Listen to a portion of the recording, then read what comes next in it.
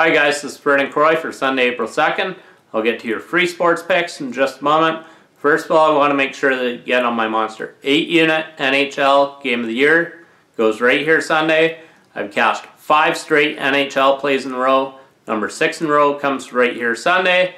Make sure you get on my Monster 8 unit NHL Game of the Year. I've currently brought home money for my clients in 6 straight days overall. That's right, 6 straight winning days. Look to make it seven in a row right here Sunday. Get my Monster 8 unit NHL Game of the Year right here exclusively at DocSports.com. I set a goal at the start of the week that was posted on my page to make my $100 clients $2,000 this week. I've surpassed that. I'm currently on a 13 and 5 all sports run, making my $100 clients $3,120. Make sure that you get my sports packs right now exclusively at DocSports.com. Your free sports pick for Sunday, April 2nd. We're taking the Chicago Cubs on the money line over the St. Louis Cardinals. The Cubs are 4 and 1 in their last five games against the Cardinals. And the Cardinals are 0 and 4 in Martinez's last four starts against the Cubs.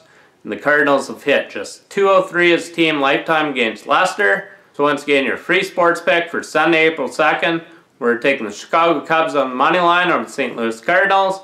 Make sure you give this video a thumbs up Make sure you also get on my Monster 8 unit NHL Game of the Year that goes Sunday. I've cashed 5 straight NHL plays in a row, and I'm also currently on a dominating 72% all sports run this week, making my $100 clients $3,120.